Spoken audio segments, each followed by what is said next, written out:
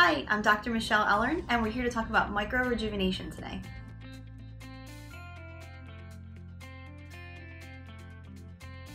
So I'm sure a lot of you are wondering what is micro rejuvenation. So micro rejuvenation uses different uh, ingredients to provide uh, rejuvenative qualities through a AquaGold Fine Touch applicator.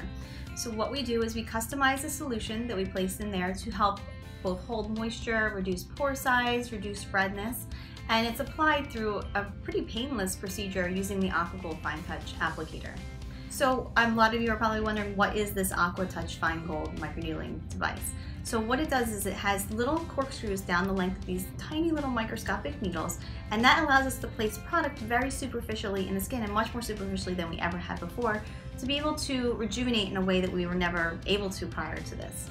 So when you buy topical products, say at Sephora or other localities, they have hyaluronic acid in them, which will hold moisture against the surface of your skin and create temporary plumping, but the molecule hyaluronic acid is too large to penetrate into your skin through natural methods, not using a microneedling device. And we're kind of bypassing that issue by using the AquaGold Fine Touch as a way to deliver the hyaluronic acid in a more semi-permanent way.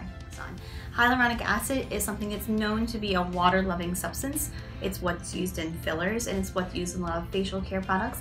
And that will actually stay in the surface of your skin and hold moisture as more of a semi-permanent moisturizer and create plumping effect that's lasting and doesn't wear off like many products will at the end of the day. So it does not hurt to do. Um, it maybe feels a little pinchy in certain areas, but not really much of anything. We don't even need to numb for this. Uh, it lasts about three to six months, similar to, you know, Botox or a light filler kind of a treatment.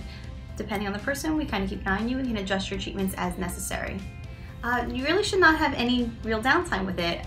Most people will be pink immediately afterwards from being microneedled, but afterwards you really shouldn't have any redness beyond a few hours.